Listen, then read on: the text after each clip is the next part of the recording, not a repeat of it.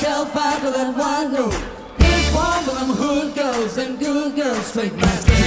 Styling, wilding, living it up in the city. But Trump's home with Saint Laurent, gotta keep themselves